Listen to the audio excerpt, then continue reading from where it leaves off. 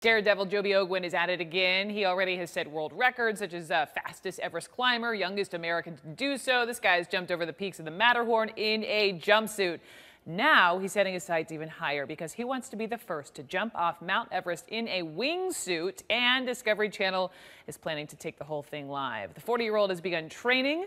Just this morning, he made a practice uh, uh, made practice at a popular skydive spot in Perris, California, and Joby joins me by phone, and Chad Myers is joining in as well. Joby, he's our uh, weatherman who's also pretty curious about what you're up to. But let me just begin with, because I've always wondered, and I'm never going to find out, uh, what does it feel like to fly? Well, it's a really incredible feeling, uh, especially because it takes so long to learn and train. It's just, uh, you know, it's really a kind of a lifestyle type thing. But it's it's exactly the way you would think it is. It's, you know, you you are essentially Superman and you fly and go where you want to go. Butterflies.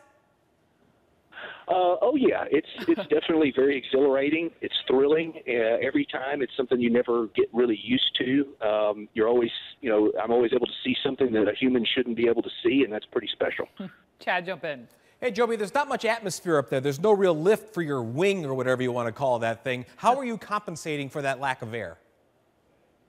Well, I did a test jump uh, very close to Mount Everest from an airplane three years ago and tested my suits and all my different equipment that I'll use on Everest this time. And it actually worked really, really good. What I found is that my suit, I thought I would fall out of the sky a little bit. Mm-hmm. And in fact, what I did was uh, fly faster and further than I could have in, in that thicker air. So, in, in a lot of ways, it lends itself very well to, to what I'm going to do on Everest.